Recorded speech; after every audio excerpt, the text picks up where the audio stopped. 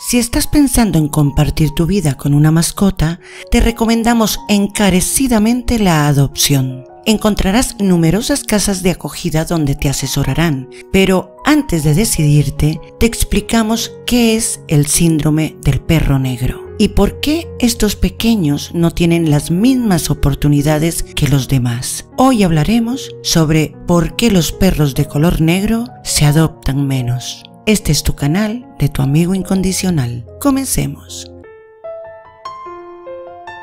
Según los cuidadores, voluntarios y personal de las protectoras, los perros negros tardan más en ser acogidos. Y aunque es cierto que existen una serie de factores a tener en cuenta para adoptar un perro, en este caso no tienen nada que ver características como la raza, la edad o el sexo del animal, solo con su color. Es complicado entender por qué sucede este fenómeno, pero te explicamos las teorías que tratan de buscarle una explicación. En primer lugar, puede ser una cuestión cultural. En la mayoría de los países, el negro es un color con connotaciones negativas y por lo tanto lo asociamos con lo malo. Esta percepción se ha visto agravada por la literatura o el cine, que han consolidado este estereotipo. Durante años se ha identificado a perros malvados y agresivos con ejemplares de este color. Por eso, a la hora de elegir nuestro cerebro, en la mayoría de los casos inconscientemente rechaza el negro frente a otras razas blancas, ya que es un color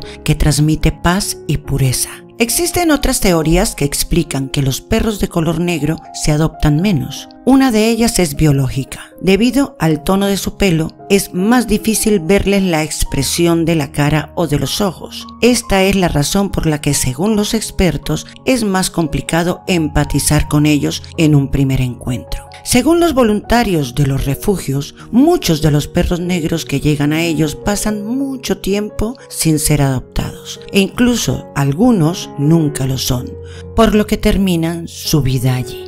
Pero la realidad es que estos peludos son tan adorables como los de cualquier otro color, y si a primera vista no te llaman la atención, es solo por una de las razones anteriores, y son muy injustas para ellos. Así que no pierdas tiempo, compra tu transportín para perros, acércate al refugio más cercano y haz feliz a uno de estos pequeños llevándotelo contigo a casa.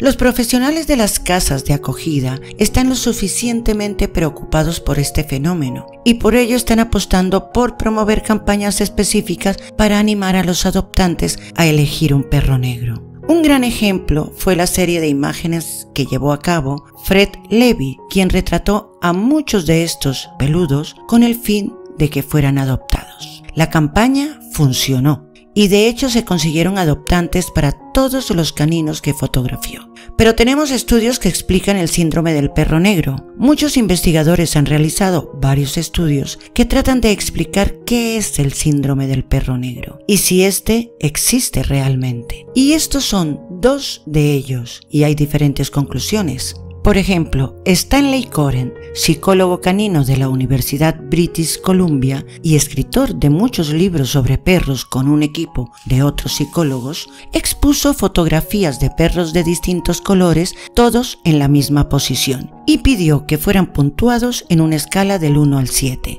Los de color negro obtuvieron una media de 4, muy inferior a los peludos con pelaje más claro. Sin embargo, Christy Hoffman, investigadora del Canisius College de la Universidad de Chicago, realizó un estudio y dijo que el síndrome del perro negro no existe, ya que después de analizar adopciones en un periodo de cuatro años, llegó a la conclusión de que los peludos de este color eran adoptados en la misma medida que los de otro diferente.